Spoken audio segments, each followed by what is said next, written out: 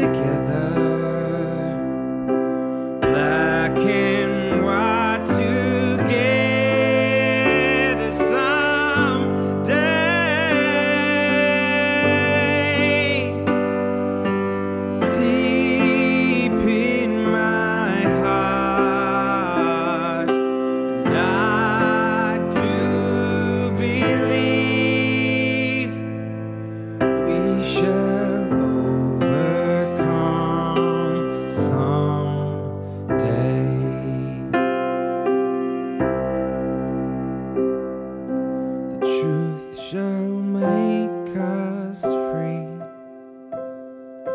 The truth shall make us We must be fearless in our work for the health and the well-being of Aboriginal and Torres Strait Island people. We must be fearless in our work for the Indigenous peoples of the world over. Now is the time that Aboriginal and Torres Strait Islander people must take their rightful place at the heart of this nation. We shall overcome some